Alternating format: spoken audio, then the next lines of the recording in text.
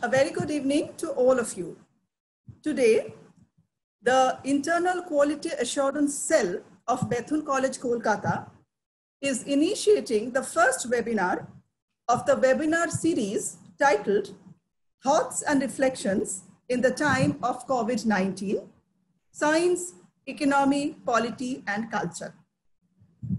The topic of today's webinar is SARS-CoV-2 virus and health issues.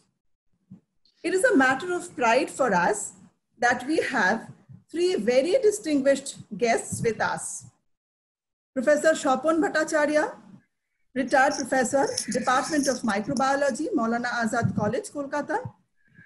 Dr. Shoumitra Dotto, neonatal intensivist and senior consultant pediatrician, Srimati Ranjana Das, psychologist, counselor and head, Department of Social Science, Shushila Birla Girls School, Kolkata, and college counselor, Loreto College, Kolkata.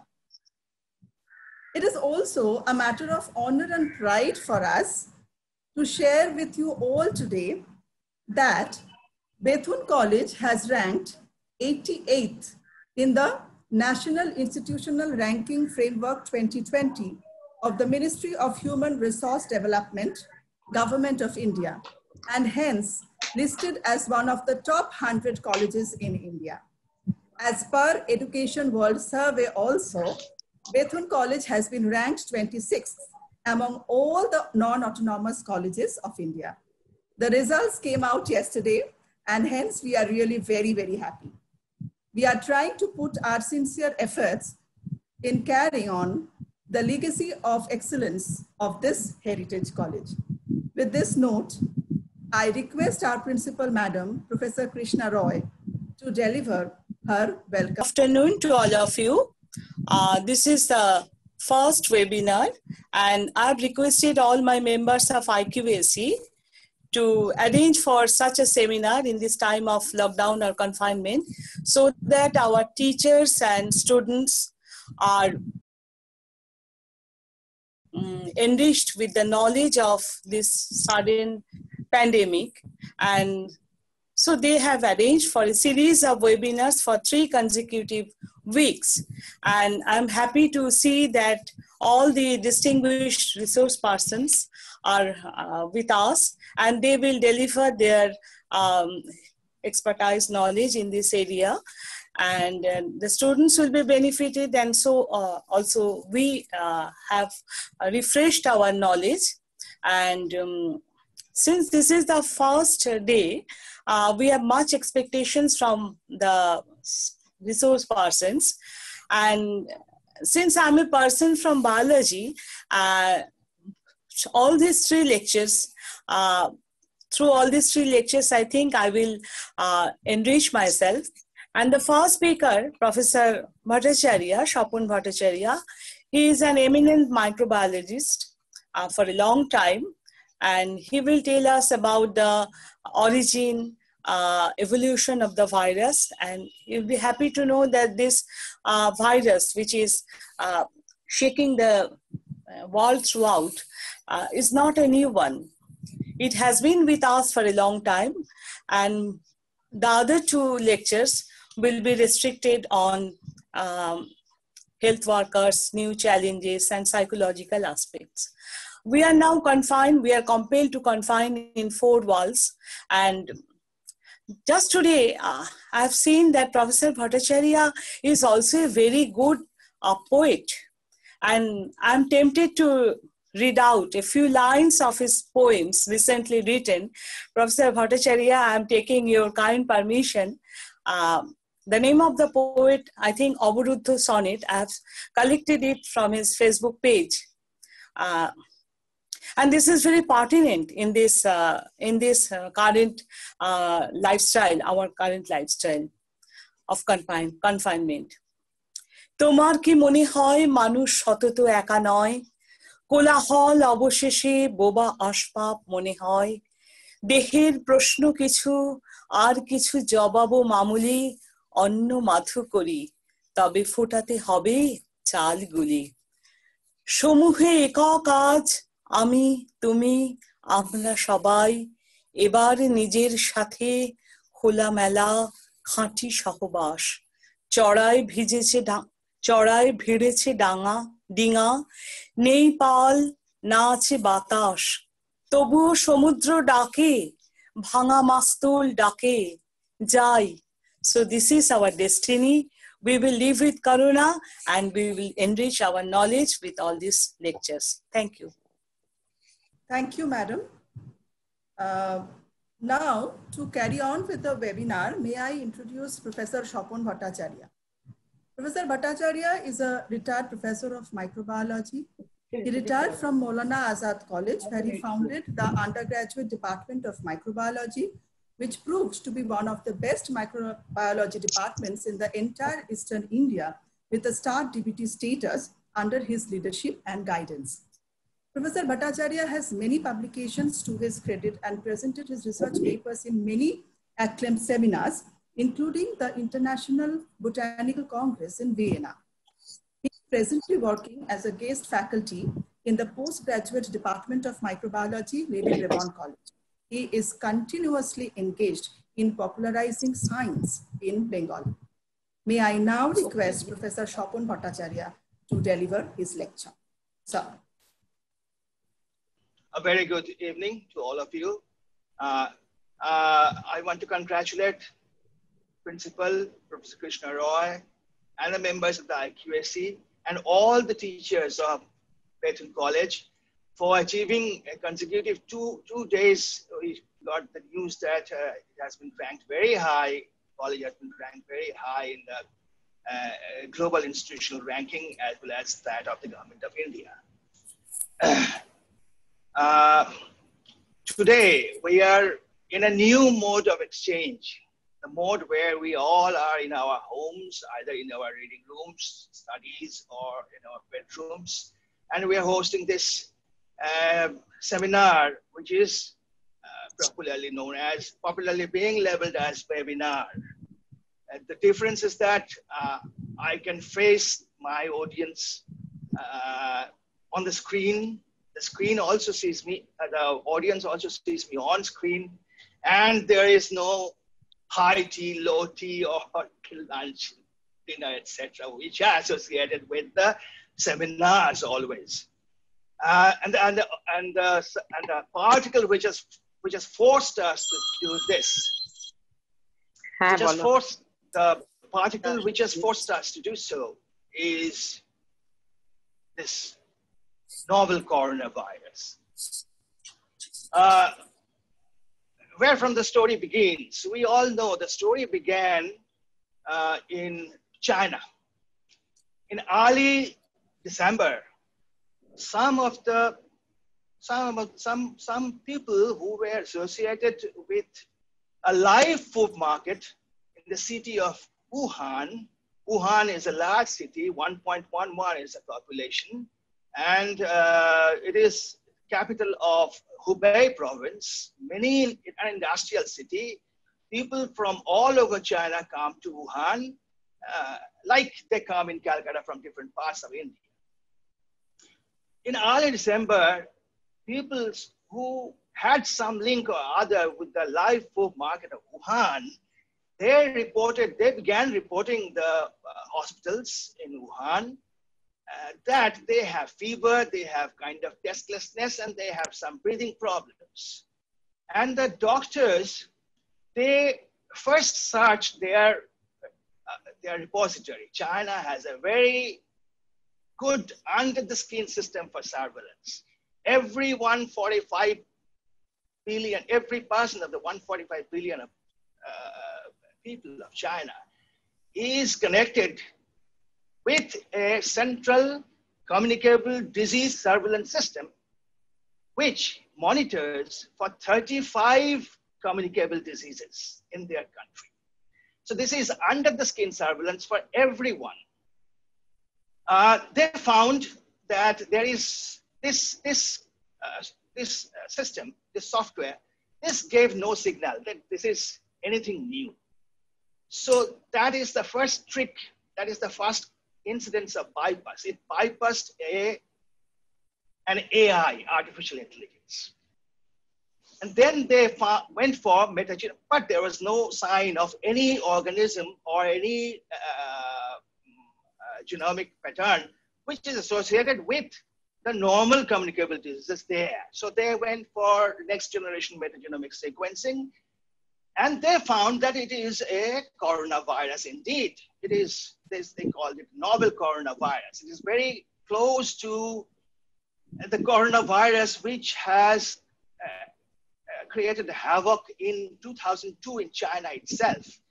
That was known as SARS, Severe Acute Respiratory Syndrome. The virus was known as SARS-CoV. And they named this virus as SARS-CoV-2.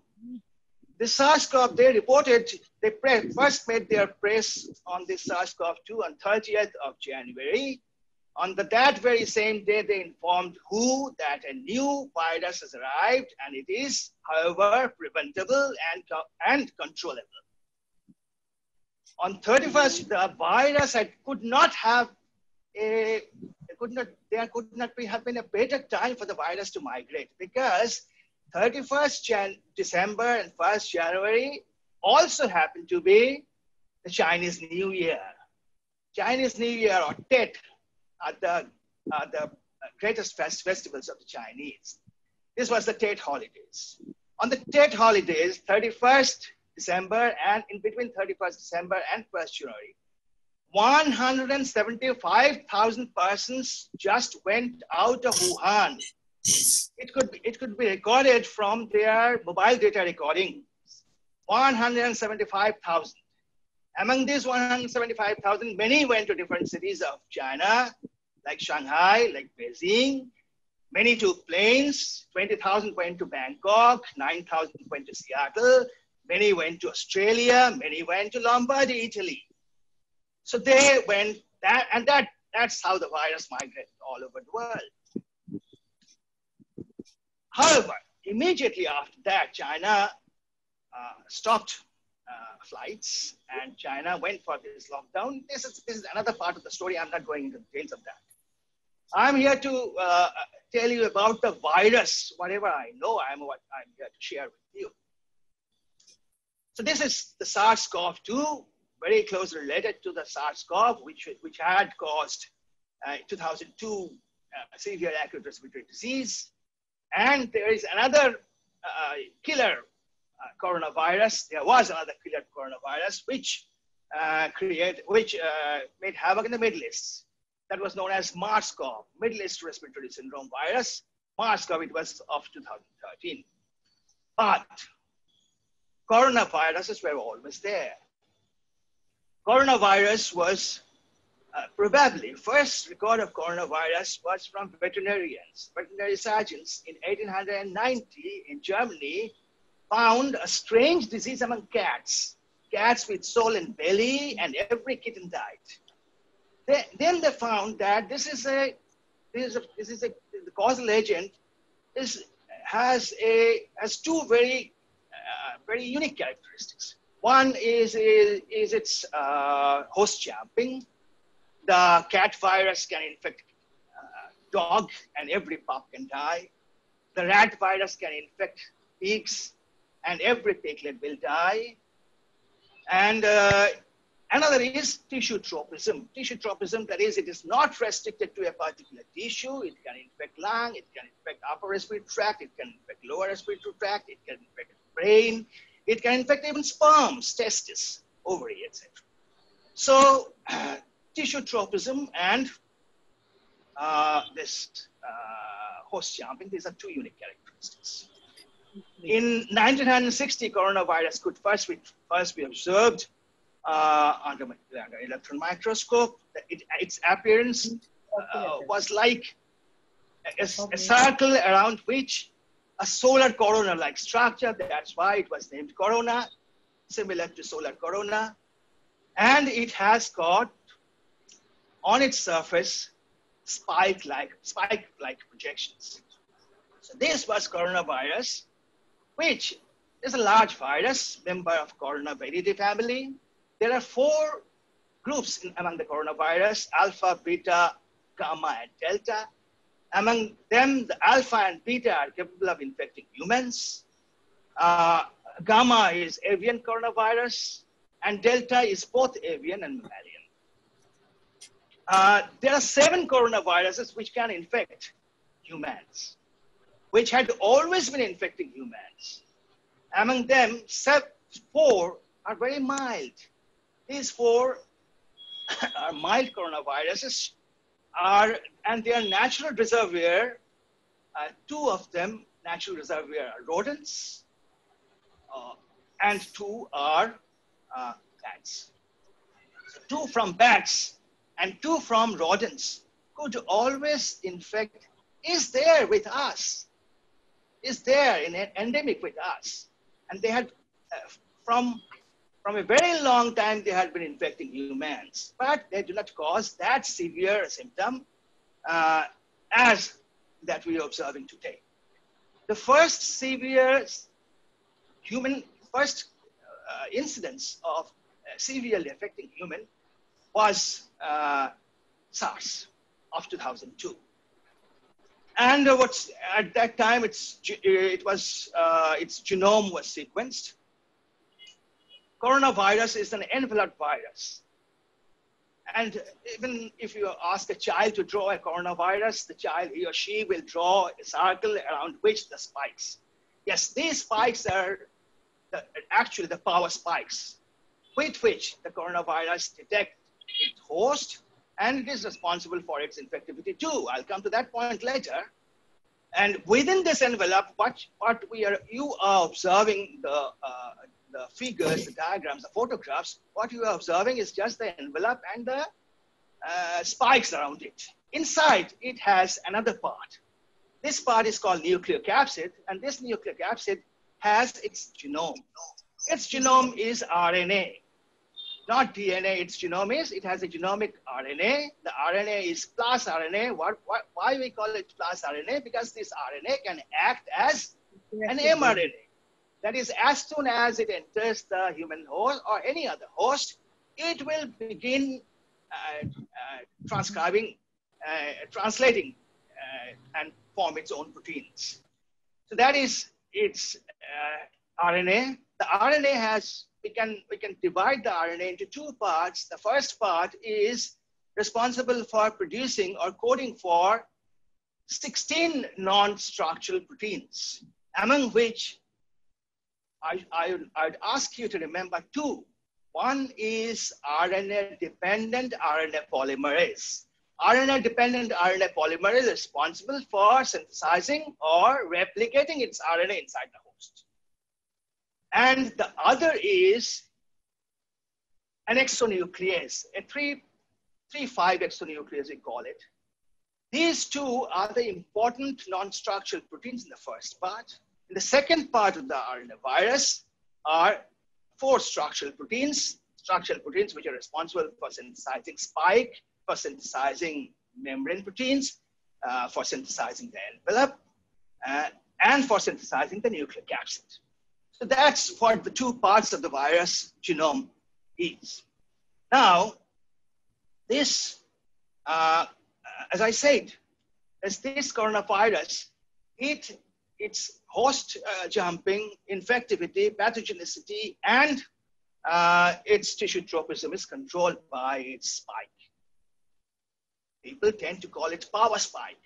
It's power spike. Spike, you can compare the structure of the spike with that of a clove, a clove flower, clove, lobongo, clove. The spike has two parts. The clove, the flower part of the clove, is the part which binds to the human cells. When it enters the human cell, it will bind to specific receptors on the present on the surface of the human cell. This specific, I'll come to that specific receptor point later. This is the first part of the spike. And the second part is the stem, the stem of the clove. Imagine a clove. The first part, flower part, is the part which comes in contact with the cellular, our cellular receptors.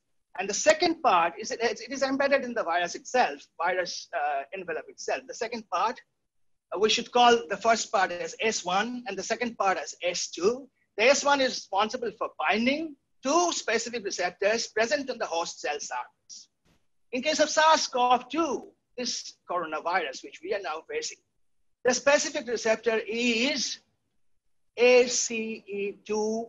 ACE2 is angiotensin converting enzyme receptor 2. And this ACE2, when it binds to the S1 part, what our cell does as a response, our cell clips the S1 part. It is kind of a protective reaction on the part of the cell that it cleaves the S1 part, it cleaves the flower part. As soon as it cleaves the flower, flower part, what happens is the stem of the globe, it undergoes a tissue transformation and it makes a fusion protein. The fusion protein fuses with the cellular envelope and the virus goes into the cell. So recognizing the ACE2 and binding it to the AS1 part is the first part of its magic. After the cleavage of the S1 part, the first part the magic is done, and the service is taken over by the S2 part, which now converts the converts its membrane, undergoes the transformation, fuses with the cellular membrane, and gets in. As soon as the virus gets in, the nucleic acid gets in, the nucleic acid gets uncoated. Uncoating means it, it releases its RNA, releases the RNA into the cell, and as soon as the RNA enters the cell, the cell becomes the slave. Cell becomes a slave of the virus. The cell begins to function not in by its own uh, signal, own genetic signal. It forgets its own genetic signal. It begins to recognize every signal the virus gives inside the cell and begins to act as a slave of that virus. It begins to synthesize the virus RNA, it begins to synthesize RNA, begins to synthesize RNA for its own progeny. The RNA, as I said, it is a plus RNA. And we all know, we all with, uh, uh, all with a slight sense of uh, understanding of replication, that RNA from an RNA strand, another RNA strand cannot be synthesized. So the, first, it, what it does, it forms a replicative form where there is both plus and minus RNA. And from the minus RNA, the plus RNA for its next progeny are synthesized and other proteins are synthesized. It's uh, the particle synthesis, uh, particle proteins are assembled within the cell and within a very short time, the virus is released from the cell and goes on to infect the next cell. That's how it proceeds. Now, in case of SARS-CoV, that is the 2002 SARS virus, the uh, ACE2 binding receptor, S1, which binds the ACE2 receptor on the cell. Uh, this ACE2 uh, binds with S1 all right. That, up to that, the mechanism is all right. But uh, the mechanism by which the S1 was cleaved was somewhat different from that of the SARS-CoV-2, which we are seeing now. In case of SARS-CoV, there was an additional cleavage site on the S2 that is called S2 prime. So it needed both S1 and S2 prime to be cleaved. That's why the SARS-CoV needed a huge load of virus. It didn't quite get its foothold on the upper respiratory tract. It was fatal. SARS-CoV had a 10% mortality, but it exhibited its mortality only after it went into the lung. MARS-CoV of 2000, 2013. MARS-CoV of 2013, yes, it exhibited a similar S1 like that of the SARS-CoV today, but MARS-CoV was also not very efficient in uh, infecting the upper respiratory tract. It played havoc after entering into the lower respiratory tract, that is on reaching the alveoli and binding the S2, AC2 receptors there. SARS-CoV-2 has best of both ends. It is quite an efficient on the upper respiratory tract, uh, and also a very efficient lower respiratory tract too, but it depends on the load of the virus, the inoculum volume. If you are close to a person who has a SARS-CoV-2 infection, if droplets continually infect you, if you are uh, aerosol infected or if you suffer from nosocomial infection, if there is a huge viral load, then some of the viruses from the throat through your saliva can get into your lung and infect your lung alveoli there and there it can play havoc. But in 80% of the cases, in many of the cases, its infection is restricted to upper respiratory tract only. That's why the SARS-CoV infection, the patients who are suffering from SARS-CoV-2, this coronavirus infection, which is playing havoc now, exhibit so different symptoms in their body, so different symptoms. And uh, another thing is this, that the SARS-CoV-2 exhibits an S1 cleavage site, which is called, which is susceptible to uh, an enzyme which is known as furin. Furin, now furin is present in HIV. Furin is exhibited, furin uh, cleavage site is exhibited by the HIV. Furin cleavage site exhibited by Ebola. Furin cleavage site exhibited by, by influenza viruses. Furin cleavage site was never uh, a um, characteristic of uh, SARS-CoV. So this has best of both ends. In case of SARS-CoV, the evolution could be traced uh, from bat, from bat to, uh, uh, before that, I'm, I, I just give, I, I just give, uh, want to give an idea that how this evolution could be traced there is a there is a there is a separate branch which is which is called paleovirology. Paleovirology stressed the evolution of the viruses through the uh, through their uh, progression, through the mutations they are accumulating in their uh, genome and so on and so forth. And coronavirus, with coronavirus, paleo, paleo uh, virologists, they have detected that, that earlier, the prim primitive coronavirus did not have any, have any uh, uh, cleavage site, did not have S at all. So in, at that time, the coronaviruses just uh, were neurotropic, where whatever coronavirus could enter the body through the neural system. Thereafter, it acquired the S2. Thereafter, by, by uh, gene capturing, it produced the S1, S1 uh, N-terminal site.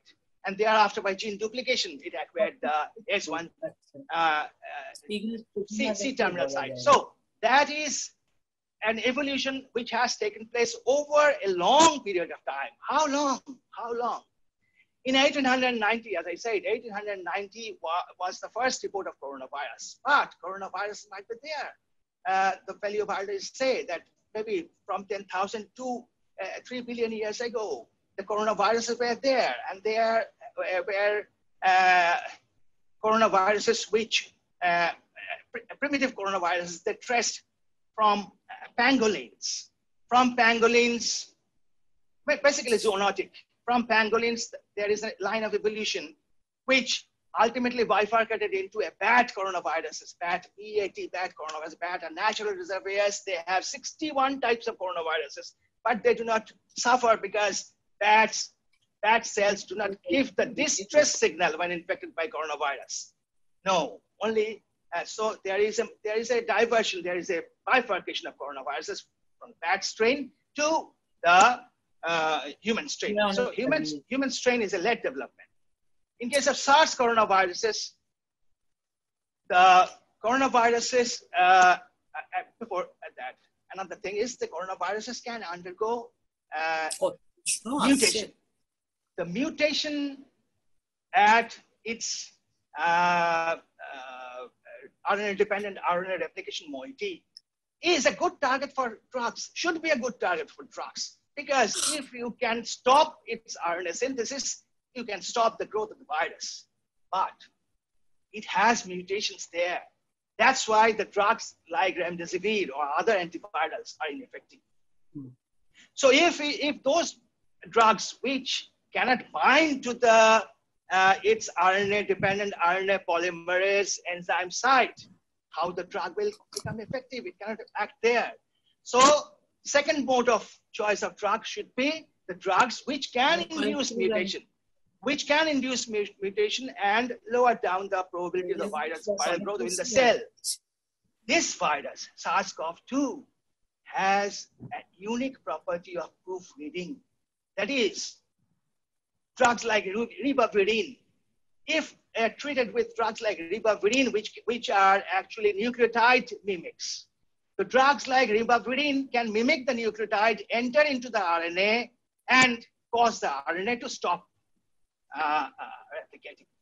It can, uh, if you apply drugs which cause, can cause mutation, then also it is ineffective because it has the proofreading mechanism.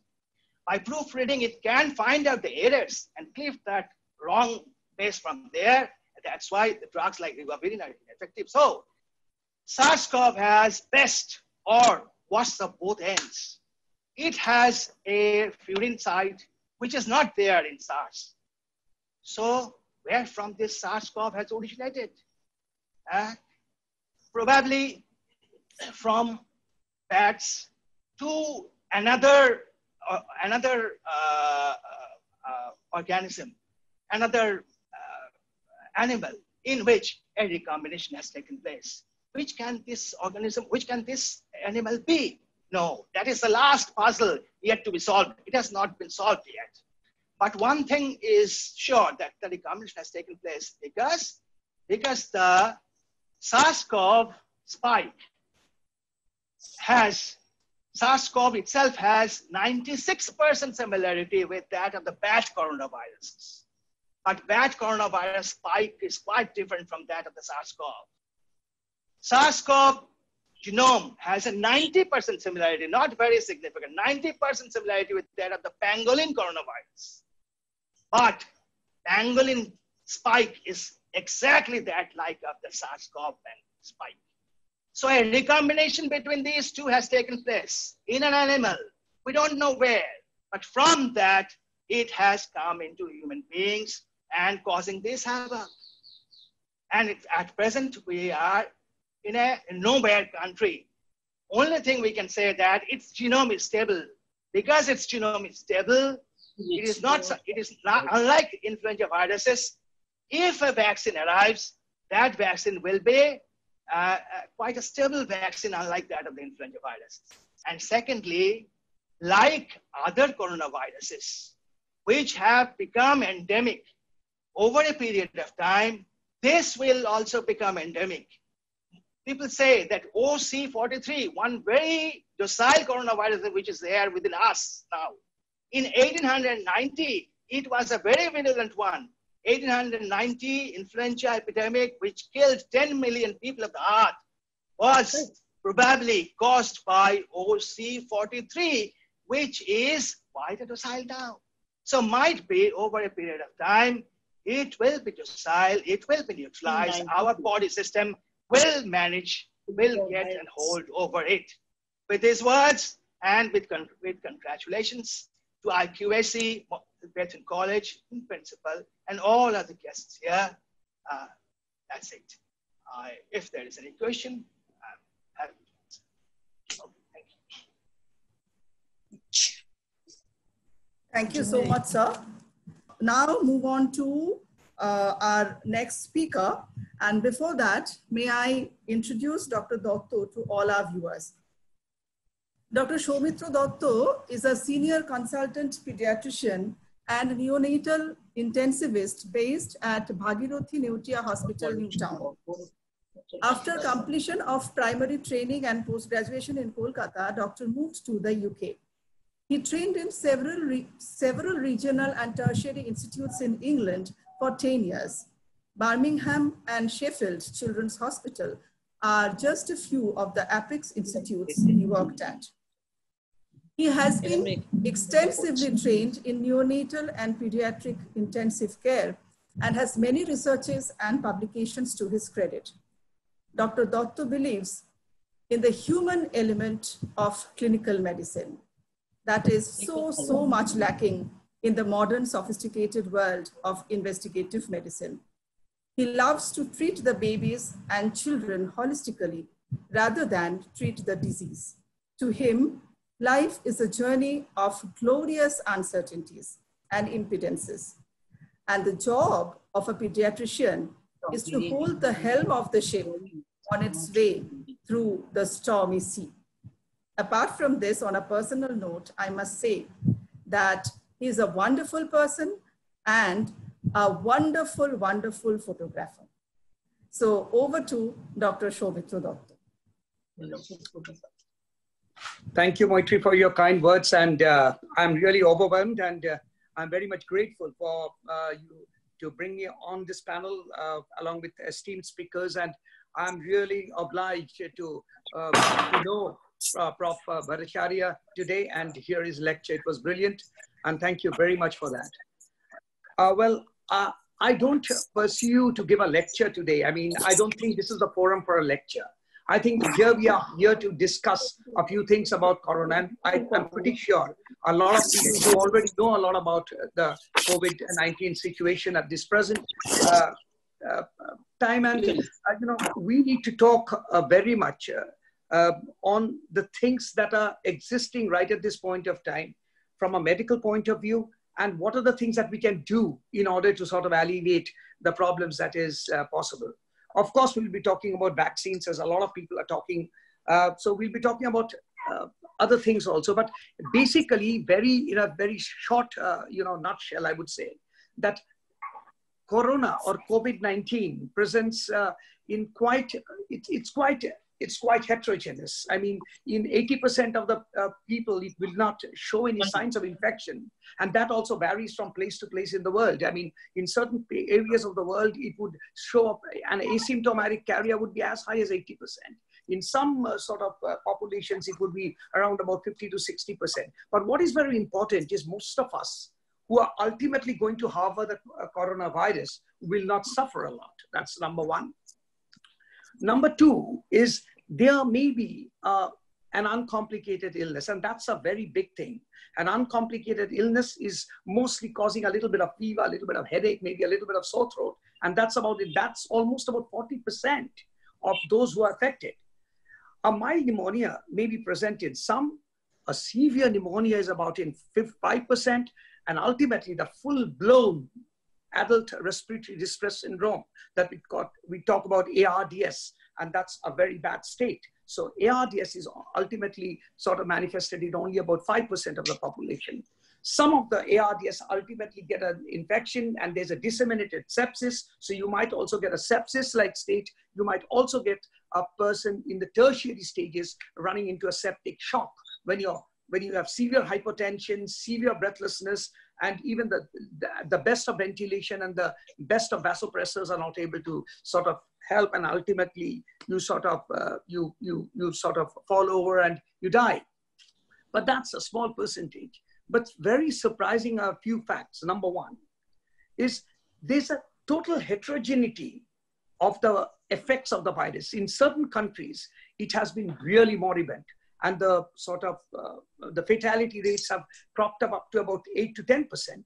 In some countries the fatality rates have been around about 2 to 3 percent. We don't yet know though we know so much about the virus but actually what we don't know is the behavior of the virus. And really that's the problem. That's the reason we in england my we had i was recently uh, sort of doing a webinar there. And in england very surprisingly the deaths which have open, happened to all the doctors have been only Asians. None of the white doctors, they have been affected, but none of them sort of have died. Most of the nurses who have died in, in the UK have been Filipino nurses. Why? We don't know. So once again, the behavior of the virus is bizarre. And until unless we really understand uh, the behavior along with the morphology, we will not be able to tackle the virus, I believe so. Now, um, there are a few things that I need to uh, talk about is we keep on talking medically about the effect of lockdown and why we did and why we ultimately went for a lockdown. Is lockdown the, the cure for the virus? Is it, is it sufficient to certainly curtail the spread of the virus? The answer to that is possibly no because there are many countries in the world who have opted out of the lockdown and have done wonderfully. There are uh, countries in the world who have done wonderfully with the lockdown also.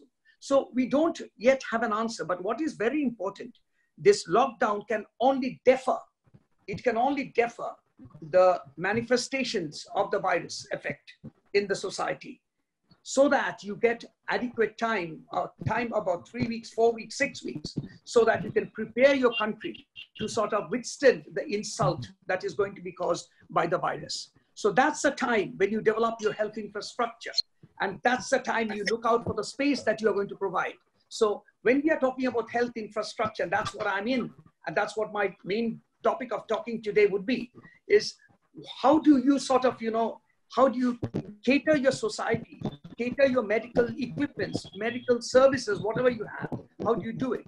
You do it by looking at number one, space. So you need three sorts of spaces for COVID patients. Number one, outdoor centers.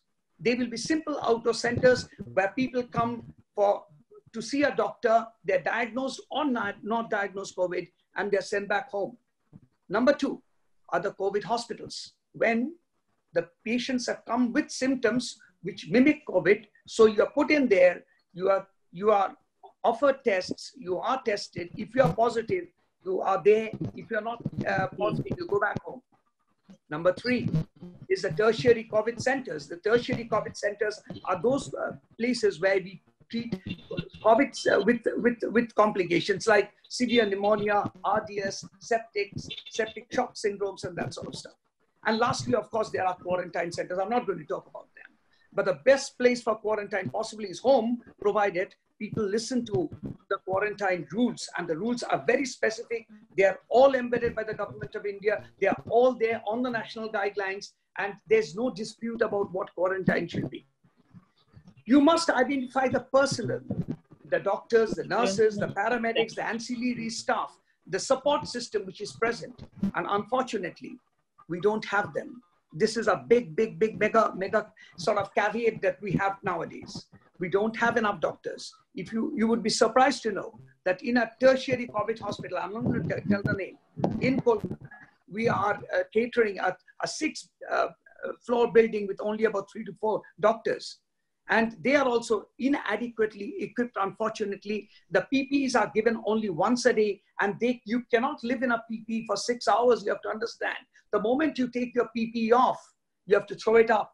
You can't, you got to discard it because PPEs are, cannot be reused over and over again. The moment you have some food, you have to take your PPE off, have food, and then it's gone.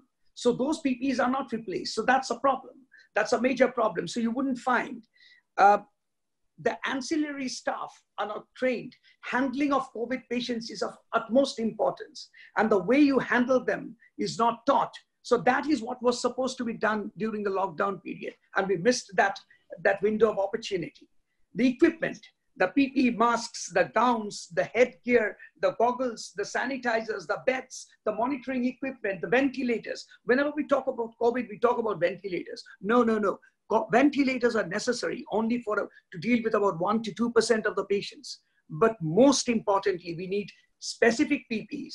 We need to know the way to wear a PPE, how to discard a PPE. Who are the people who should be wearing a PPE? You should have, you, there are guidelines which are not being followed. The ancillary support, the labs, the type of test that we should be doing. We were doing different sorts of tests at different periods of time. Now we have come down at least to an RT-PCR test, which is reasonably reliable. But even then, there is a 30% false negative. So that, you know, that's, that's a big, big caveat once again. And as far as antibody tests are concerned, they are not very much reliable right at this point of time. They will be able to actually judge the prognosis as well as the course of the disease and the sort of immunity status of the child or the person, whoever is suffering from that. So antibody test needs to be more sophisticated before they become implemented. The transport of patients, we don't have committed COVID ambulances. We don't know how to get those patients from the home to the, to the hospitals. First of all, where are the hospitals? I mean, there are two sectors of hospitals. One is on the government sectors, and the other one is the private sectors. The private sectors are government are, are hospitals where part of the sector of the hospital sector has been converted into a COVID hospital. Of course, that means it is not as equipped as it should be, ideally. It may be equipped infrastructure wise, but as far as the manpower is concerned, as far as the people who are supposed to handle the COVID patients are not trained. I mean, they don't know. Even a simple thing like a collection of sample, a collection of a nasopharyngeal swab is to be done in an appropriate way. A throat swab has to be collected in an appropriate way. So where is the training for these people who are handling it?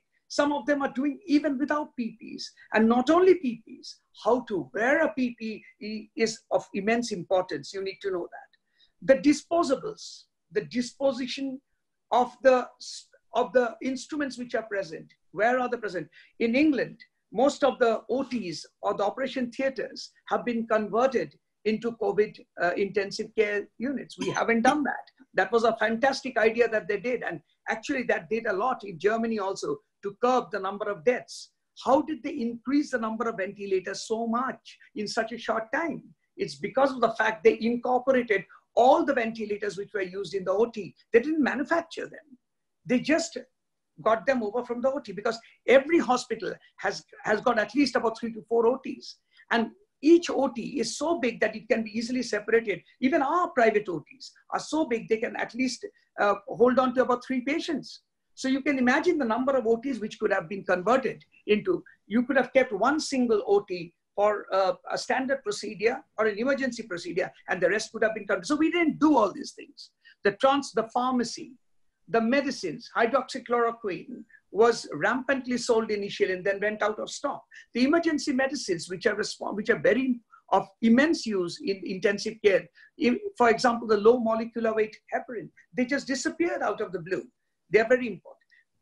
The press and the media handling wasn't nice. I mean, the fact is, there needs to be a strong monitoring agency, somebody in command with a plan, and that has to be implemented. And that is exactly what we have to do now. Whatever I have said just now regarding the infrastructure and the deficiencies in the infrastructure is not to show, is not to show what has gone wrong, but to show you that this is the thing that we need to do this is the way forward that we need to do that. So we need to build up the infrastructure. We need to build up the space, train the personnel, get the equipment, get the ancillary support, and also arrange for the actually the, the labs, the pharmacies, the, the hospital supplies, the essential services, the accounts, the finances, the, the press, the media handling, and also looking at the same time at the data because data is of primary importance, you know.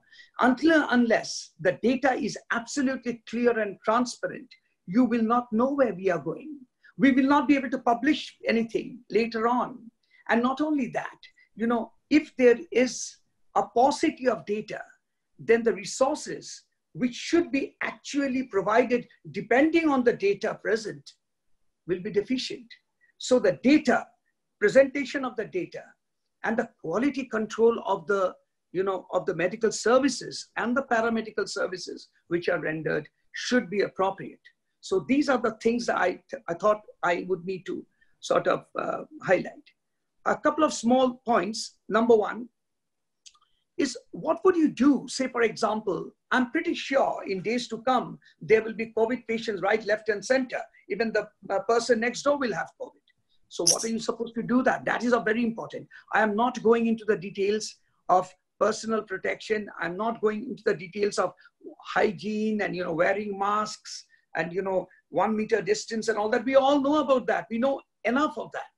You know, I'm not going into the, those are of utmost importance. And I'm pretty sure everybody is aware of those procedures. So I'm not going into those details right now, but those are absolutely imperative. They're not essential. They are imperative. Each of us, you cannot roll out on the streets. You cannot roll out on the streets, even though lockdown is over. You cannot just go ahead, have a cup of tea uh, at the at the at the tea corner. You can't do it. I mean, that's that's not that's not done until unless we really want a catastrophe, and we are almost in a catastrophe now. That's not. So, what happens if we are diagnosed COVID? That's for you to know. Number one is you need to test yourself. Only one good thing which has happened now, very recently, is that there are certain private labs which are open now for COVID examination. So you can go into a few of the private labs which are prevalent in Kolkata now. You can go and get a COVID test with a prescription by your doctor. So that's number one. That's a positive way ahead. The reports are usually available within 24 hours. They normally inform you over the phone.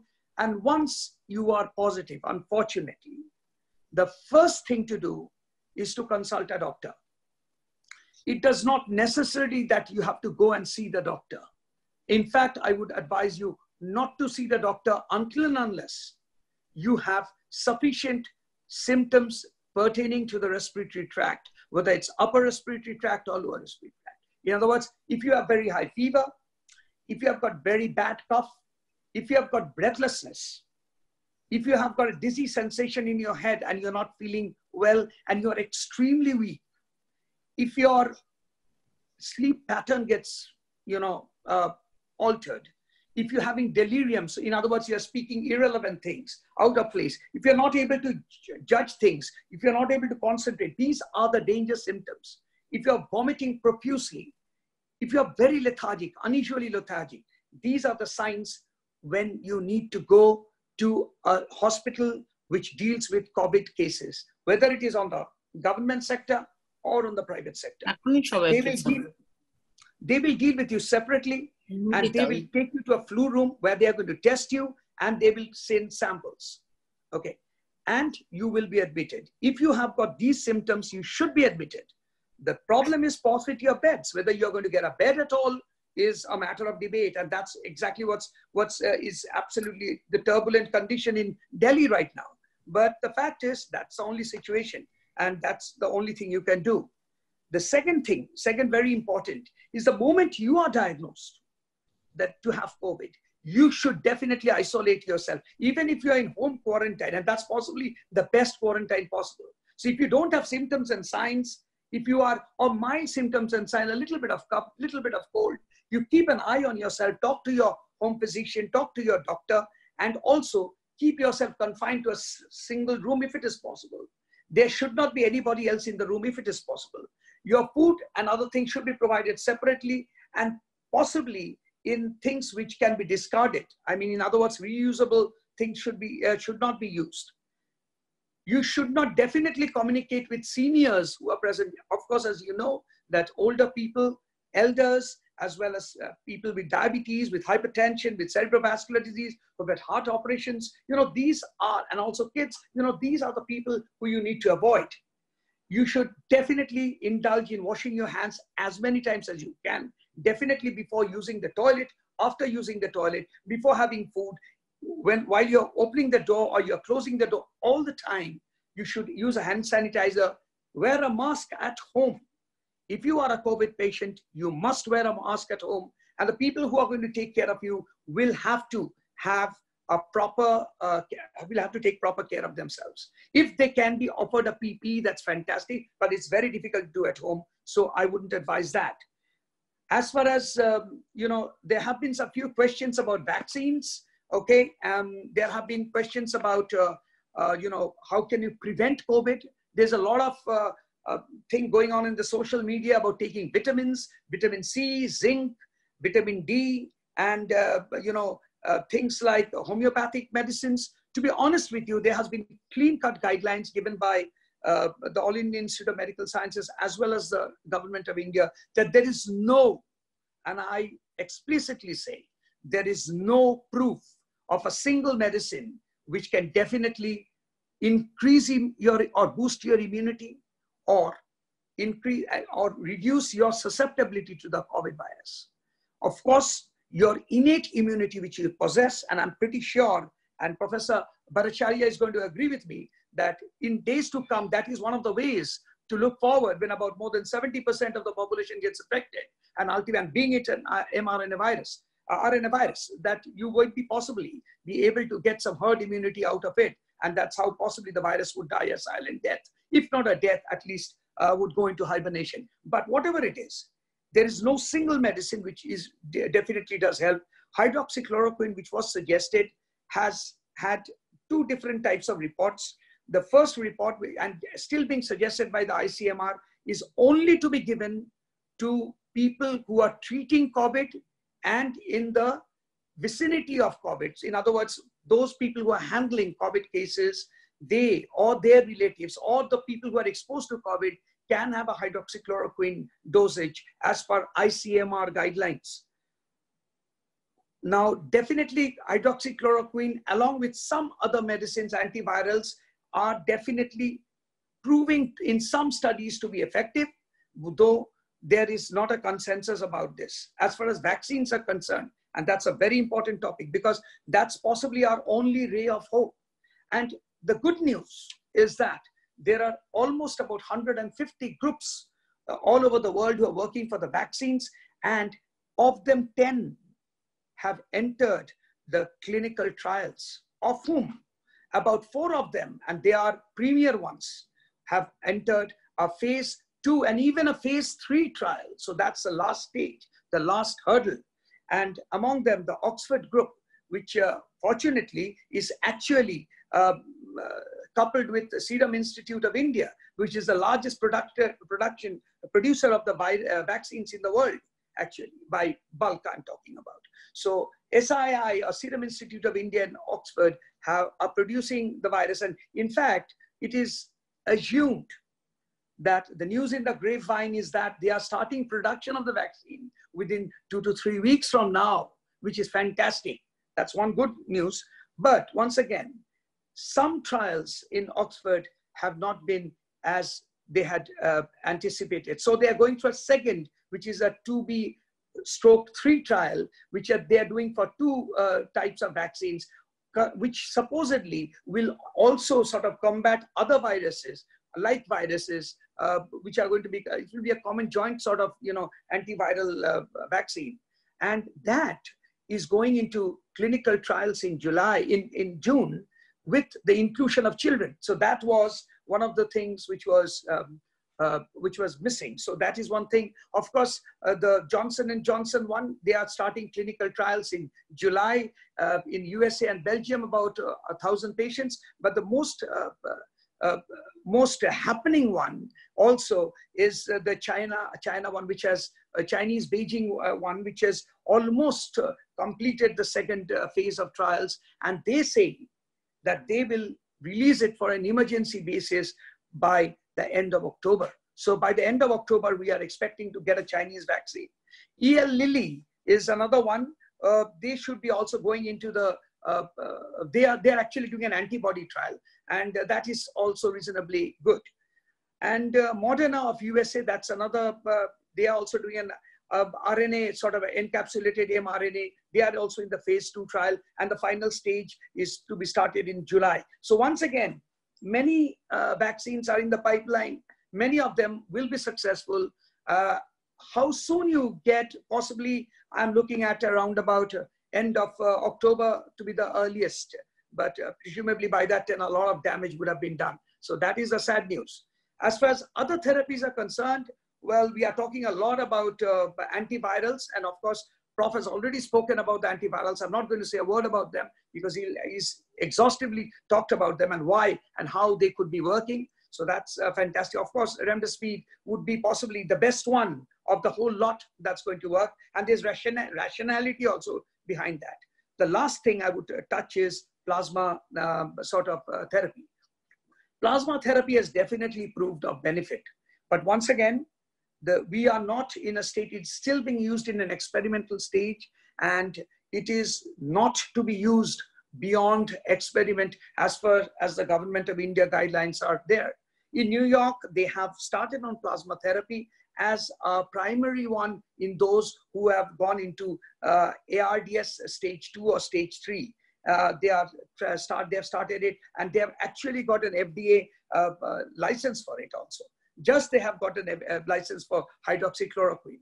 A wonderful combination of hydroxychloroquine along with az uh, uh, azithromycin is being used nowadays in quite a few countries over the world. Japan specifically is using it quite rampantly and they have found success. But once again, no medicines have been proven beyond doubt and unanimously to be absolutely effective in the treatment of this COVID-19. And that's about it. I would be happy to answer any questions. And thank you once again, Moitri, for providing me this opportunity. Thank you. Thank you so much, Dr. Dotto. A wonderful, wonderful, wonderful lecture and so very, very informative as well. So as suggested by you, we would take the questions at the end of the seminar. So I think we should move on to our third speaker. Uh, we would now uh, move on to our third speaker, Srimati uh, Ranjana Das. And may I introduce Srimati Das to all our viewers. Srimati Ranjana Das has been a long uh, teaching, has a long teaching uh, uh, career for about 21 years. She has been teaching psychology and is acting as the head of uh, the social sciences department at Shushila Birla Girls School, Kolkata. She is also the college counselor of College Kolkata. She has been counseling and treating people for quite some time and has founded an institution for mental health. She is actively engaged in generating awareness regarding mental health among people, particularly among the young generation. May I now request Srimati Das to deliver her lecture. Madam Das, please. Good evening uh, to all the esteemed guests who are here and a very warm welcome to the panelists. What a brilliant speech. I hope I can live up to the expectations. And a very big thank you to IQAC Bethune College, Kolkata, Dr. Shom, Principal Bethune College, Professor Krishna Roy, and convener of this grand initiative, Dr. Moitri Ghosh. My dimensions are a little different. We have heard a lot about the virus and the impact that it has for our future. But as I told you, the mental health of persons who are in the virus or around the virus is also to be taken into account. And therefore, I will take you to the journey of how best we can survive with a doable mental health so, that, so that we are strong enough to face the unknown dangers.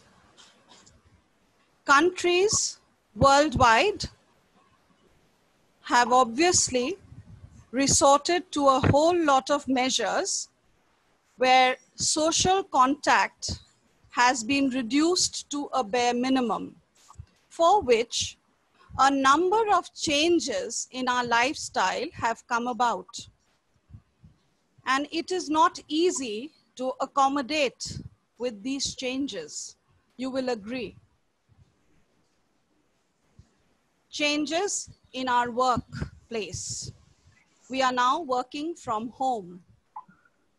Change of looking after children while we are working home school environment being created, educational institutions being imparted through online. The physical presence of the teacher is nowhere around. So with these changes, I'm sure you will agree that a lot of mental health issues can come about. Therefore, what are those mental health issues that COVID 19 has arisen in our lives? It is not only the person who has the COVID, but people around facing the COVID environment have to make a lot of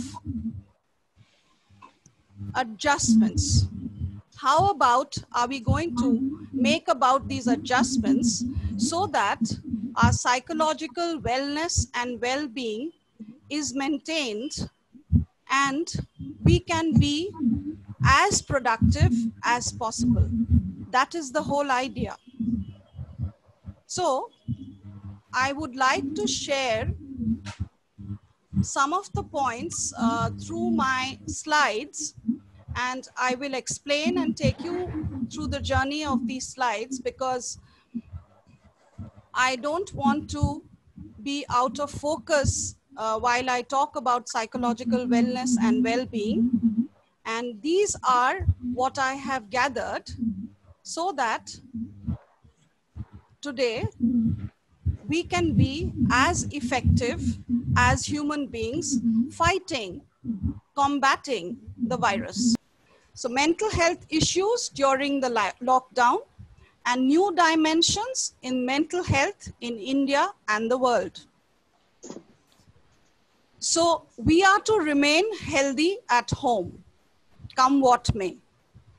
And in order to do this, we have some very important salient tips which will help us remain healthy at home, be it with the COVID or not with the COVID. We are to be informed. We are to remain informed. So we have to be choosy about our media consumption. It is better that we restrict to information at the rate WHO rather than scrolling down each and every media that comes our way. Secondly, to have a routine. Since we are at home, home sweet home, so it's very difficult to have this routine.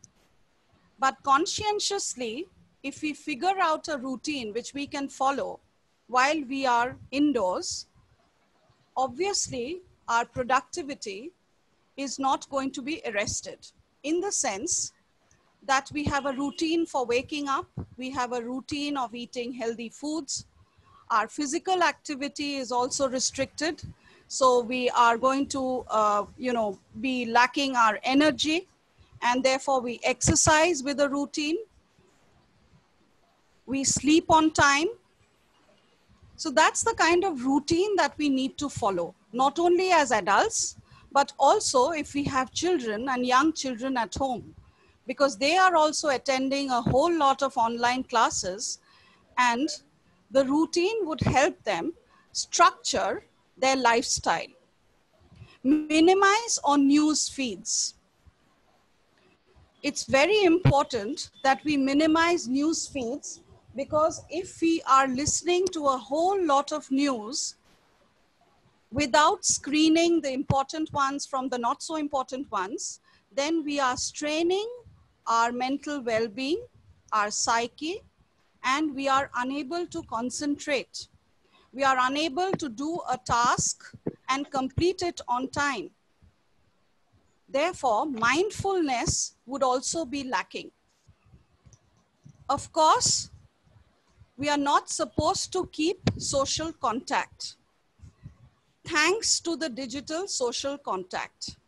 We must make use of the digital social contact with our loved ones and cultivate our relationships as much as before. Because cultivating personal relationships, working on social networks are important life skills that help us to move ahead in life in spite of whatever comes our way. Positive adjustment. We are to positively adjust with the virus. Avoiding alcohol and drug use. If we are on alcohol and on drugs, then we are negatively adjusting to the coronavirus. And treatment outcomes with alcoholics also becomes very, very questionable screen time. It is very important to keep to time even if we are on screen. We have, we must have a regular time frame and not the entire 24 hours being spent over the screen. So it's a good idea to be healthy at home. Of course, we are getting a lot of advice about our physical health, to wash our hands, to maintain social distancing, to try to increase our immunity, but the psychological well-being is also to be advised upon because after all, the psychological well-being is a very important component of the physical well-being. I'm sure everyone is going to agree on that. Managing our mental health issues. The coronavirus itself is a stress. No doubt about that. The virus itself is stressful whether it is a known danger, whether it is uh, an, an unknown danger, stress is stress. And the fear, the worry, the apprehension about dealing with stress increases the crisis. So that is an important mental health issue. We have our routines disrupted. Our routines are definitely disrupted there is lack of employment in the coronavirus. We are amidst the coronavirus. But for every calamity, there is always a big picture waiting for us. Later on, obviously the corona is going to get over like every other distress. Keeping this in mind will give us the mental strength to cope with the virus. It is going to come to an end, come what may. We are to be selective about our media consumption. We are to focus on things that we can control. Now we can control our own personal hygiene. We can control to maintain a social distance. Any distress, during any distress, if we focus on things which are within our control, we are much more focused and strategized in facing the stress. So more or less, our focus has to be task oriented. Neither can it be extremely emotional, nor can it be extremely avoidant in nature we have to focus on those things, or rather we have to use those strategies which will help us control. Practice healthy coping skills. So uh, practicing healthy coping skills is mostly to be very task oriented in our coping skills. We obtained all so much of information, so much of exhaustive information about uh, the coronavirus and its impact and the infrastructure from our brilliant previous speakers. So that is one way of coping with the, with the corona by obtaining valid information. Only then can we learn to prioritize as to what are we supposed to do and what are we not supposed to do. Thank you so much. India falls prey of a mental health crisis. The social economic fissures exposed by the pandemic will result in mass unemployment, depleted social safety nets, starvation, increase in gender-based violence, homelessness, alcoholism, loan defaults, and millions slipping into poverty. This post-COVID landscape will be a fertile breeding ground for an increase in chronic stress, anxiety, depression, alcohol dependence, and even self-harm. The corona continues to take lives across the world, there's another public health crisis that's rearing its ugly head. I would like to point on that. This new danger may perhaps unleash more death and despair than the coronavirus itself. Going by the history of pandemics and the knock on effects of an inevitable economic downturn, India is looking at a mental health crisis with suicide related deaths as its lead indicator. We need to caution ourselves on this aspect. It is true that the statistics that are showing even in countries like Nepal, there are more suicidal deaths than corona deaths. This needs to be looked into. Of course, a lot is being doing uh, is being done in the southern states where digital psychiatry by the NIMHANS has already been organized to give solace and peace to those who are hugely troubled by the corona. And mental health obviously takes a toll even higher during times of crisis. This is how mental health works. And mental health and mental ill health are not two separate dichotomies. That is very important for us to remember. We are on a continuum. At any point of time, we may fall prey of mental ill health.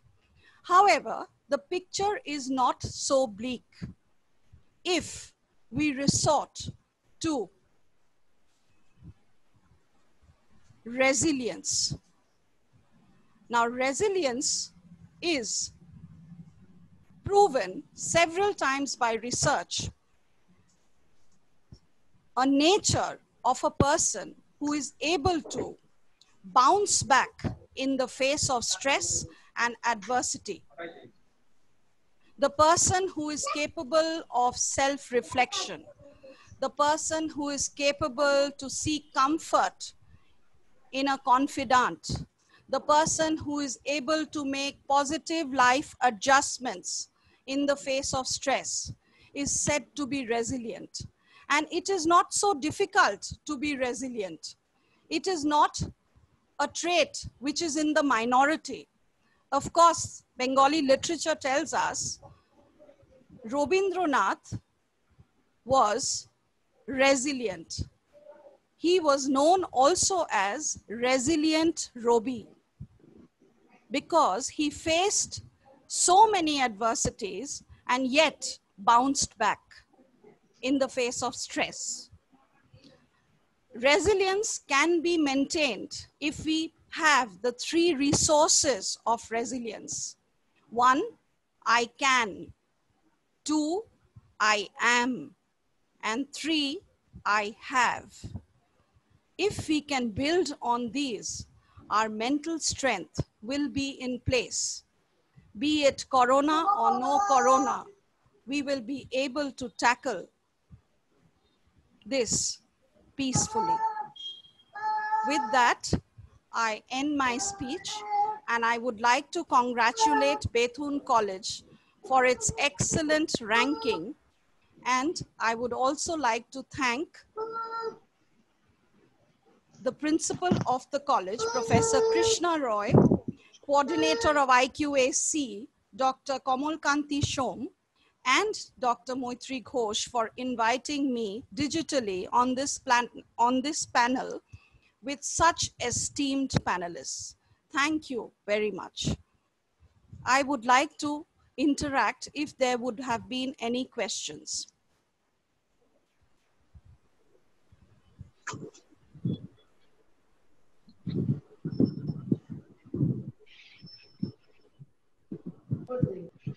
Thank you so much, ma'am. It was a wonderful talk, and we had a lot of study uh, dealing with our mental health. And I think now it is time that we open uh, our questions for this uh, question answer session. And um, I would put the questions as it as they came to me. Uh, but due to paucity of time, we would limit our questions. So um, in the chat box, the chat box uh, has been flowing with uh, questions for all the three speakers. But um, may I start with Professor Bhattacharya, please? But if any one of the panelists also wants to answer the question, they are most welcome. Uh, this question uh, came for uh, Professor Bhattacharya though. Is the virus temperature sensitive? If so, how is it showing havoc in Indian summer? This is one. The first question was um, whether it is temperature sensitive. Temperature sensitivity is uh, any uh, uh, organic activity and enzymatic activity, say. It, there, there are three cardinal temperatures, minimum, optimum, and maximum. Uh, mi below minimum, it cannot act. Beyond maximum, it cannot act. And the optimum temperature is that of the body temperature. The virus enters the body and, my, and propagates within the body. So the body temperature is its uh, optimum temperature. Therefore, of course, if the temperature, if the virus is exposed to very high temperature outside the outside in say sunlight over a metal panel in 44 degrees Celsius, of course it will be inactivated. But it enters your body. Your body is, uh, if you're healthy, your body is uh, is is programmed in such a way that whatever the external temperature is, inside your temperature is a normal temperature, which is normal for the virus as well. So there is no problem for the virus, even if the external, even if the uh, uh, atmospheric temperature increases, it, it propagates in your body. You have to remember that. Next question. Okay. okay. So maybe this is a kind of related question. Like uh, somebody has asked, is it correct that different parts of the globe are affected by the same type of virus. If a vaccine is kind of invented, then will it be equally effective in every country? This is a very interesting question. I, I, I was to go harp on that point, but I was because of the paucity of time I could go. Uh, it has been found that the mutations are different globally.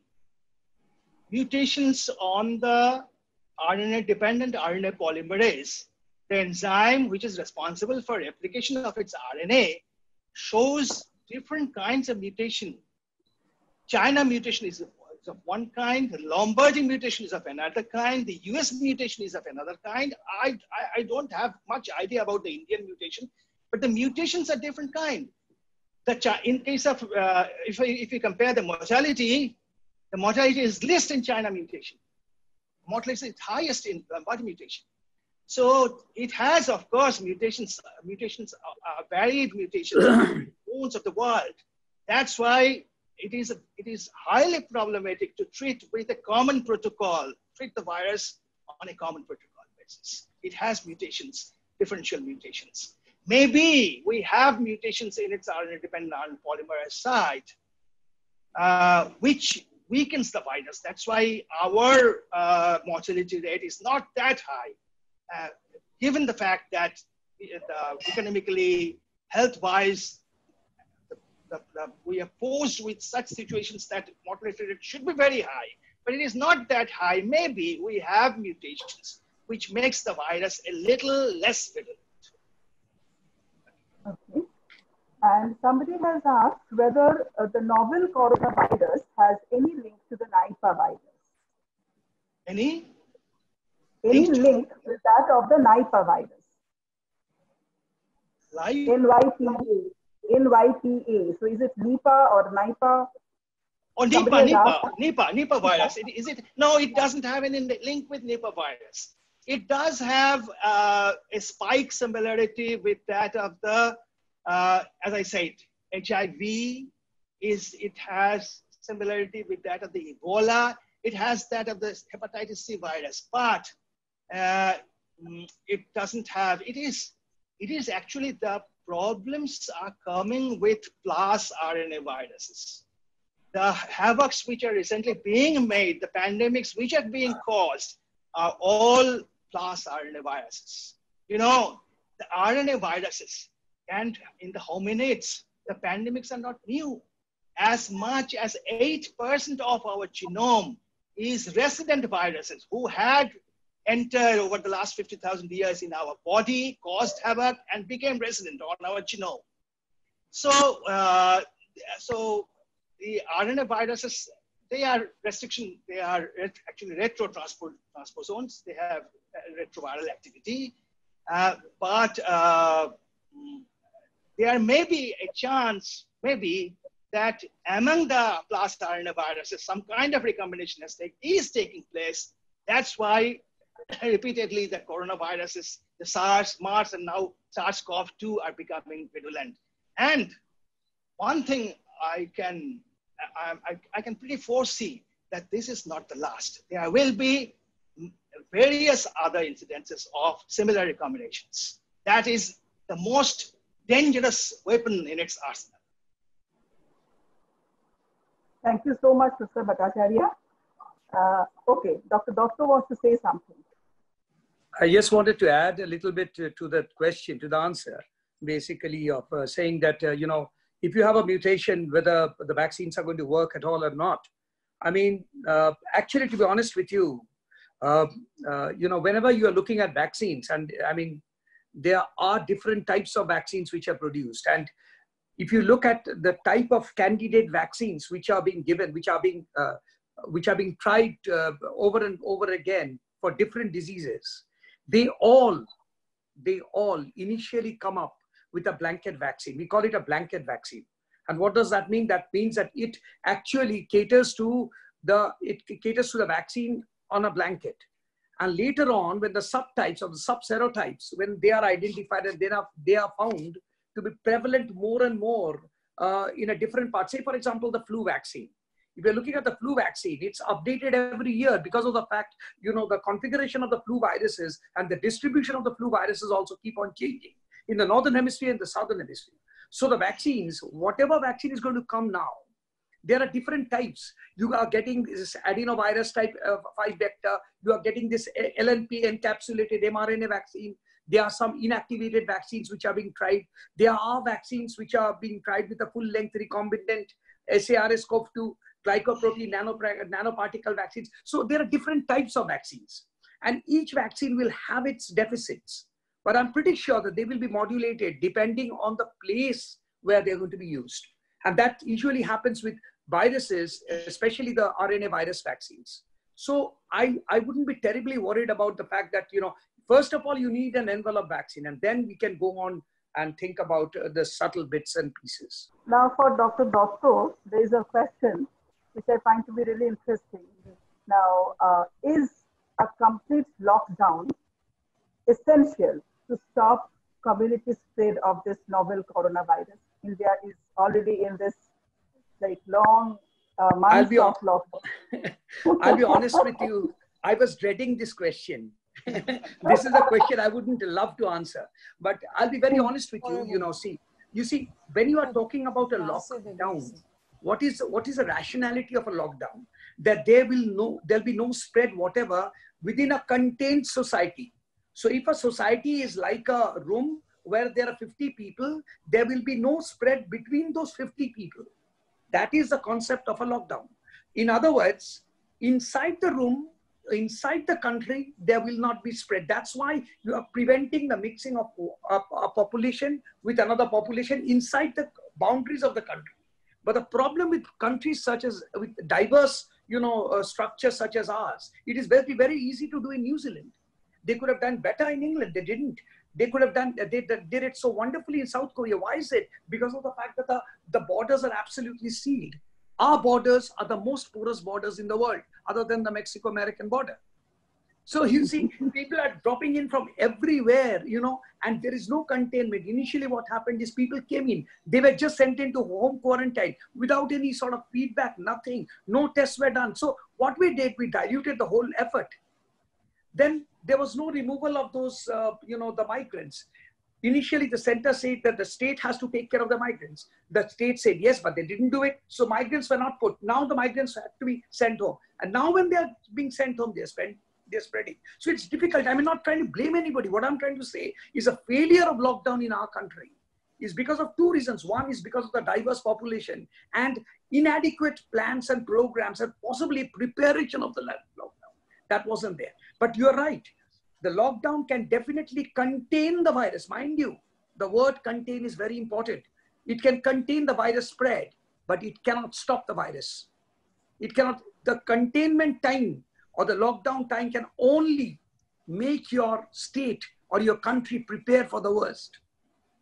That's all you can do. You cannot stop the cycle of the chain. You cannot do it in a country such as ours. In New Zealand, yes, it's possible because you know you can hardly see people on the street. You will see more sheep rather than people.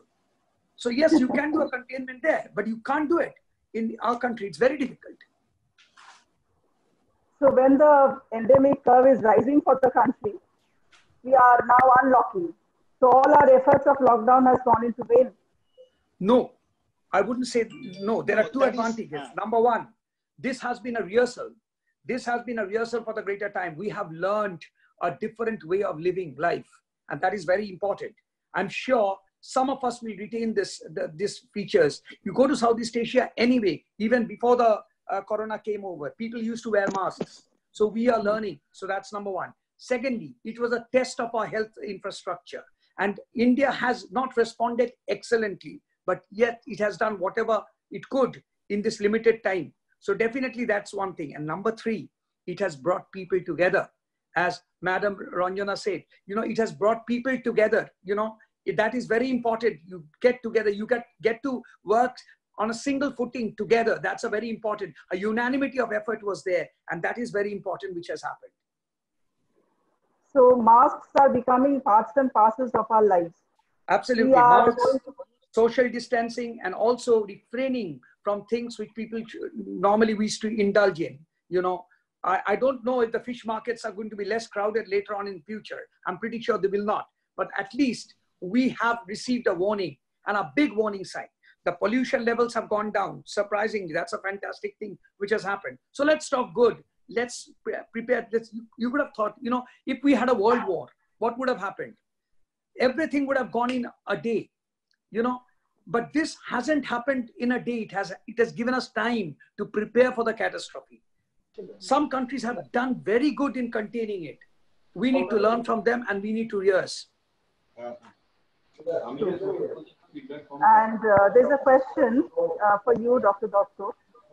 what age groups of children are most vulnerable to covid infection what is the global scenario of covid infection among children that's a very, very good question. Once again, I'm a pediatrician myself. So um, I always uh, wondered that uh, why are children not getting affected? Actually, to be honest with you, the incidence in children is very, very less. And that's a bad thing. You know why? Because of the fact that most of the children who get affected, not that they are not affected, they are affected. But most of them, 90% of them are silent carriers. So they'll bring the virus. They will not suffer from it they will not exhibit anything other than a little bit of runny nose. And ultimately, they'll disseminate it to so many people. And remember, children's rate of infectivity is far more. They can spread far more because they don't have hygiene. Number one, they mix prolifically. Number three, people are much more, uh, you know, they would love to caress and care. Number four, is the secretions produced by a child is far more. It's about six times more than what an adult produces. So the chances, and they, you know, they go into many play groups, schools. There are lots of places where children intermingle. So the spread is rampant. You see, the difference that we see nowadays is now my phone calls of children getting acutely ill have, have dropped down. Why is that? It's not because the pollution has gone. It's not because of that only. It's because of the fact that children are not going to schools. They are not mixing, going to care centers. They are not mixing with other children. So not, they are not getting infected. In other words, children are super spreaders, but they don't suffer a lot. Mortality in children is very low. Not that children haven't died. Yes, they have. A few children have died. In fact, there have been a documentation of a small baby in uh, Ahmedabad who was uh, as small as 18 days who was uh, affected by COVID. Okay, so, but the fact is, surprisingly, and once again, we know the morphology of the virus, but we don't know the behavior of the virus. We don't know what makes these children so, not uh, so uh, susceptible as adults. Uh, uh, I want to add that one, one theory is that, that they, children do not exhibit the ACE2 receptor that much as, as that of the adults.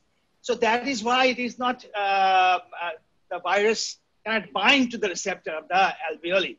And that is one theory because virus, apart from this ACE2 receptor site, has other sites by which it can also enter the cell. So one is not very clear about uh, the, fact that uh, why the children are suffering less.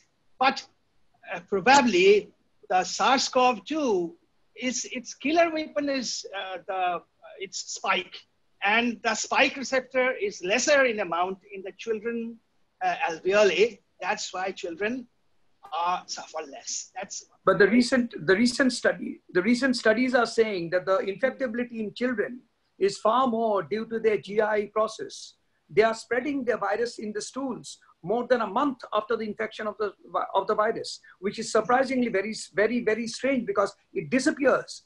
This virus being a predominantly upper respiratory virus, uh, commensal of the upper respiratory virus, but going in and becoming more pathologic in the lower respiratory virus. But mm. definitely the virus resides, so more needs to be done actually. In China, they have seen about 118 children who were affected initially. All of them were positive in their stools at the end of a month. So that's a very bad thing. Remember, children stools are not disposed of properly. So that's another bad thing. So children are actually super spreaders, but fortunately, they are uh, you know saved by the Almighty. Okay. Uh, one last question for uh, Dr. Dotto. Um, maybe uh, Mr. Bhattacharya might also answer for this like we see asymptotic uh, responses among people. Like somebody has got covid but there is no symptom uh, of actually uh, what we know about the symptoms of covid. So what to do about that? Or we don't know that we have covid. So then what is the response? What should be the thing to do? You see uh, we say that you know the infection control procedures which are in place which i deliberately ignored because everybody has heard about them so many times on the TV. I didn't uh, want to complicate the talk. But basically, you should understand one thing. In an endemic situation, and especially when we when there is community transmission, let's not debate the fact whether there is community transmission at all or not. We know if we have got two and a half lakhs in our country, there is definitely some community transmission going. Okay, so if that is it, the first thing is you have to understand and you have to realize that each and every person who is around you is possibly a community spreader. And therein lies your safety guidelines, your use of masks, and the mask should not be hanging here, it should be there. If possible, it should be a medical mask and not a handkerchief. And not this, as has been always said. No, this is not enough. Because when you are coughing, you are sneezing, you're spending, you're sending the viruses out also when you are exhaling. So if you're breathing out also, you are sending your viruses in loads. So definitely this is a big thing. Hand washing, rigorously hand washing over and over again. Be aware of the fact that the person who is sitting next to you may be a silent spreader. So whether in Bengali we say na, no. মেনে নিতে হবে এবং মনে নিতে হবে রবীন্দ্রনাথের ভাষায় যে করোনা এসছে থাকবে এবং করোনা না থাকলে প্রফেসর ভট্টাচার্য যেমন বললেন আর কেউ আসবে সেও এসে থাকবে কিছুদিনের জন্য আমাদের জীবনটাকেই বদলাতে হবে জীবনের জন্য Asymptomatics are uh, recent, very recent, two, two or three days ago, there was an ICMR report that 30% of the population, 30% of the urban, they have uh, scrutinized, they are actually asymptomatic carriers. So asymptomatics are those in which the antibody response might not have occurred at all. In, with SARS-CoV, with coronavirus, the development of antibody takes time. It is a, it is a, it is, its incubation period is high. And many of the persons who, are, who have suffered for a shorter period of time have lesser antibody response.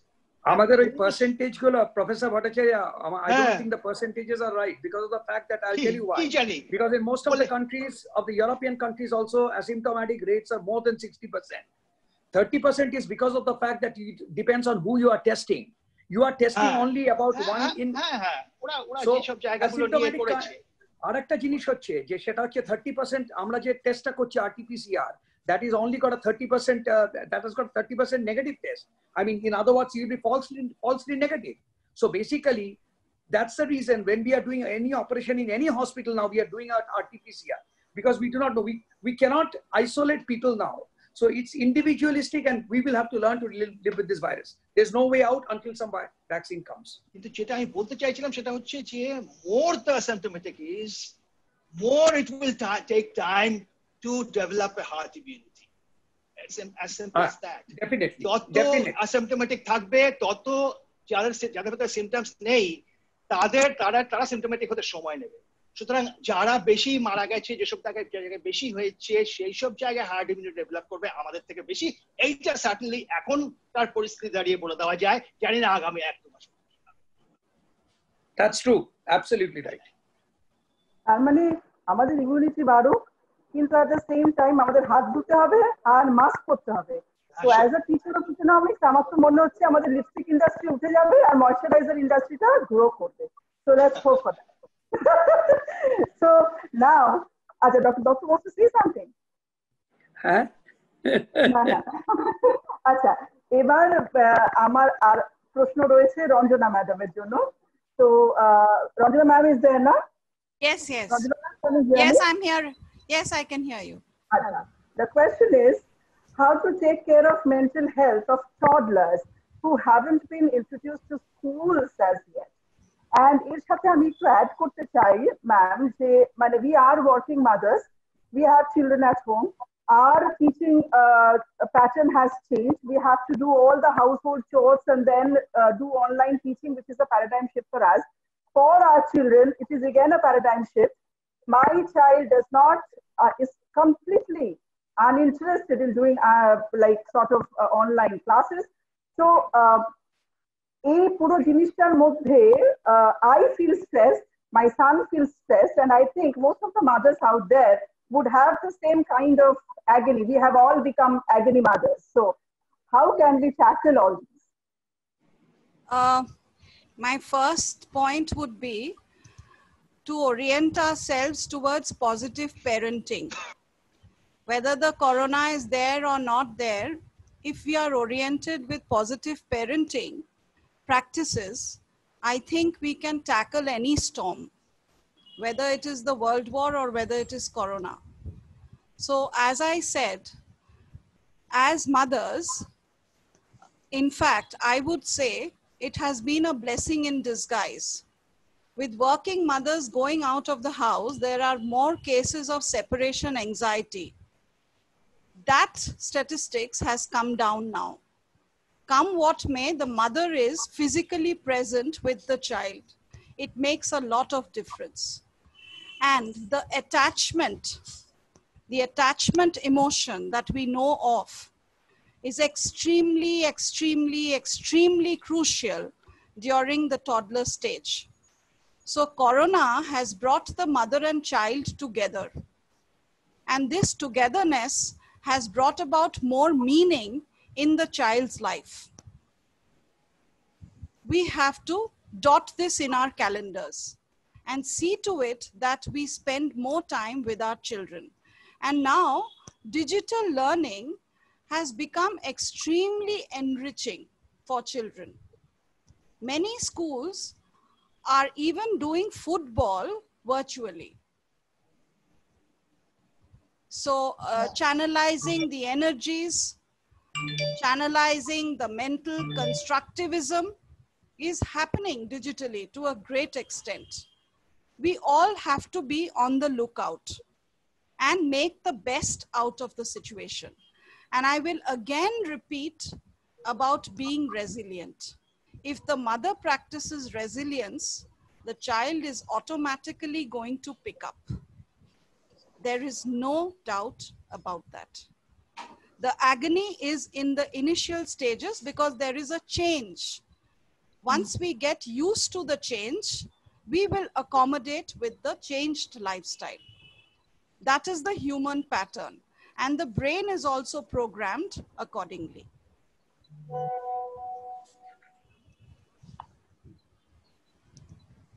Yes. Uh, Thank you so much, ma'am. Thank you so much, so very much, ma'am.